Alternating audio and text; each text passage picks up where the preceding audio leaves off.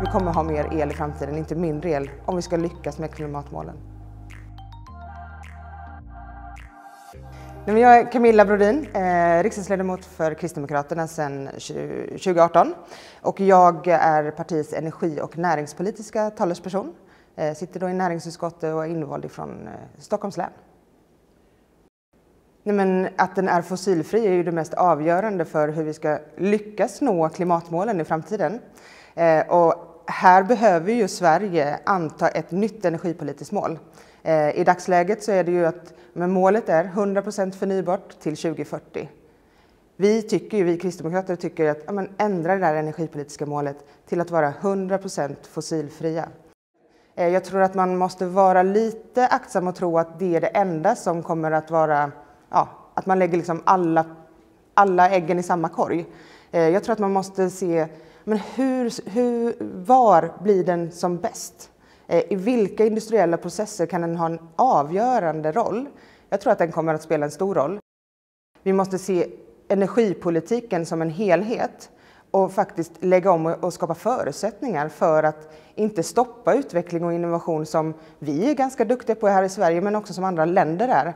Nu ser vi att vi blir lite omsprungna emellanåt eh, av, av andra länder. Vi har Team Kanada, vi har vi har eh, Baltikum som också, eh, också ligger långt framme när det gäller utvecklingen av små modulära reaktorer.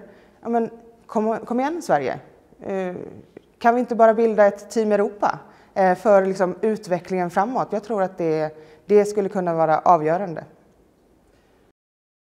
När jag tolkar andra sidan blockgränsen så är ju Centerpartiet ett av de partierna som inte alltid tycker, har samma uppfattning som oss kristdemokrater.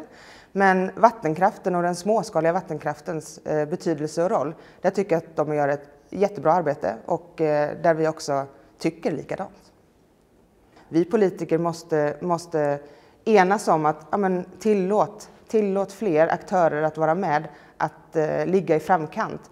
Vi har ju varit en nation som vi ska vara, om vi tittar på den energiproduktion som vi ändå har i Sverige så ska vi vara ganska stolta. Vi är ju nästintill fossilfria.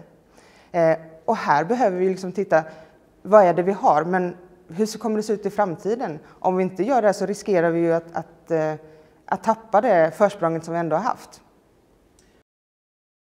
Ja, men nästa mandatperiod då kommer vi att behöva diskutera leveranssäkerhetsmålen. Eh, du ska kunna lita på att elen finns där när du behöver den oavsett var i landet du bor eller bedriver din verksamhet. Det kommer vara avgörande.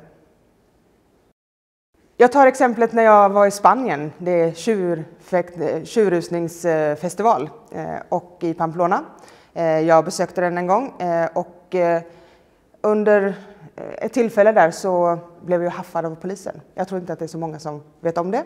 Men det var när jag skulle kliva över staketet för att gå in på andra sidan där vi skulle vara. Så fastnade jag och hängades upp och ner i staketet och blev då ifrågasatt av polisen som undrade vad jag gjorde där. Eh, det slutade med att jag blev eskorterad till den plats jag skulle. Eh, ja. Ja. Ja.